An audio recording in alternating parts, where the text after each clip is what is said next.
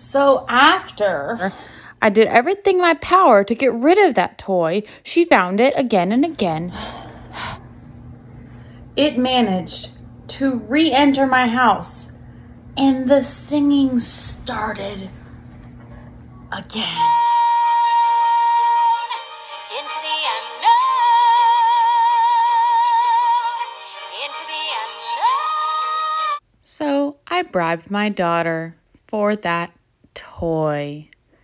Her toy in exchange for the lollipop. Hmm.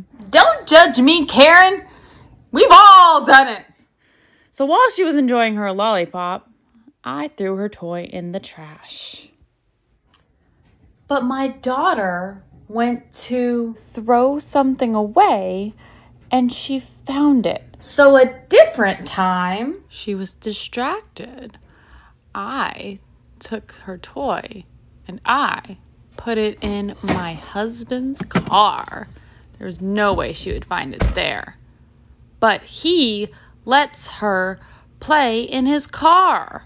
So while she was rummaging around his car doing who knows what, she found it Then today, we took a trip.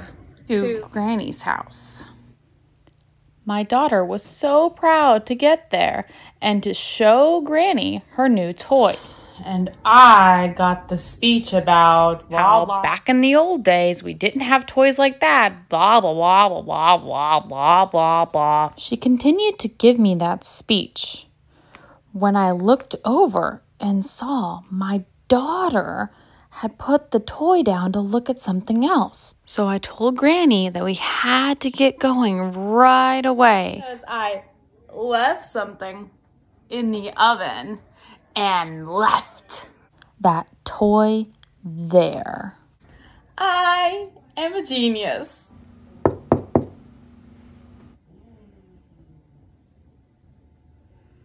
Ooh, it's colder than the Dickens out there, don't ya know?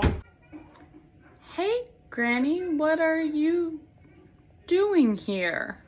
Here because your little whippersnapper, she left her dear newfangled thingamajig at my at my house there, don't you know? Here you go.